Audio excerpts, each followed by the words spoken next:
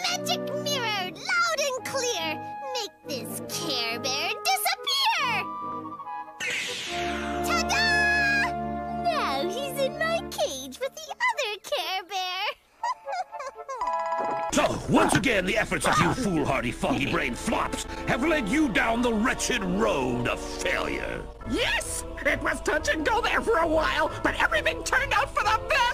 You will change that obfuscating opinion in due course. Now, prepare to face the critical consequences of your infuriatingly incurable incompetence. Mr. Maggot, I assure you, I really tried. The chase party...